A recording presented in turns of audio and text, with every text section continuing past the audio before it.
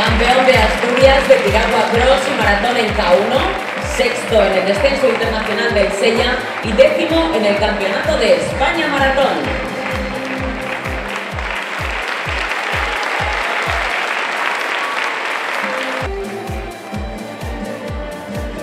El premio a la mejor entidad deportiva recae en el Oviedo Kayak por acumulación de méritos, tanto que no solo le han valido el premio como mejor club de Oviedo, sino también le ha llevado a ser elegido el mejor de Asturias.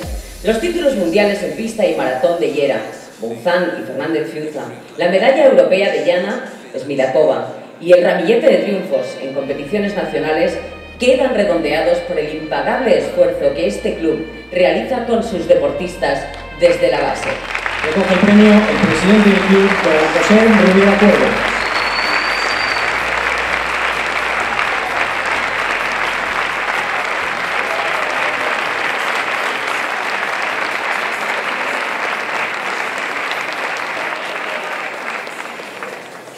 Piragüismo, Álvaro Fernández Ciuza y Walter González Sánchez pertenecen al Club Oviedo Callar.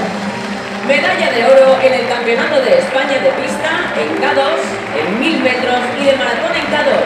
Campeones del mundo de maratón en K2 y del descenso internacional del Sella en K2.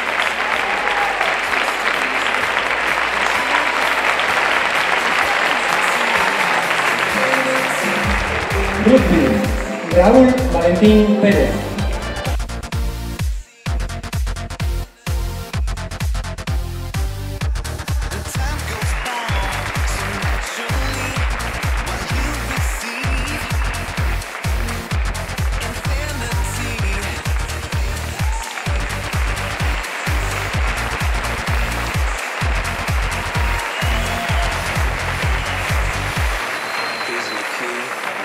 Bueno, la verdad que yo estoy muy agradecido a todo el mundo que se acuerde de nosotros, pero bueno, hay que decir que tienen que reconocernos todo el trabajo que hicimos, estamos trabajando mucho con la base, aunque en realidad estamos viendo los resultados de campeonatos del mundo, pero yo quiero más que nos reconozcan por el trabajo que estamos haciendo en Trubia, donde tenemos las instalaciones, estamos empezando ahora con colegios, y pienso que es, va a ser el futuro de uno de los deportes que más triunfos puede traer tanto para Oviedo como para Asturias. Sí, yo pienso que sí. El Oviedo ya tuvo una época que no era tan bollante, por decirlo de alguna manera, pero está volviendo a ser lo que era y volviendo a ser un club que da la cara ante España y ante Asturias, sobre todo.